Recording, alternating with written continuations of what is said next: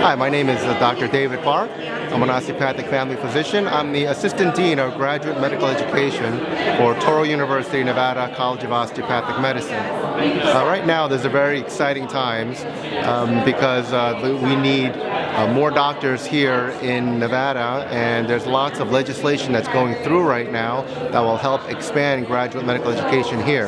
We know that there's a shortage of physicians in Nevada, especially primary care physicians, and what's exciting is that there's lots of uh, energy and movement, um, a lot of people getting involved in trying to create more residency programs so that our physicians can be trained here after medical school and stay here and to practice medicine and take care of our patients in this community community.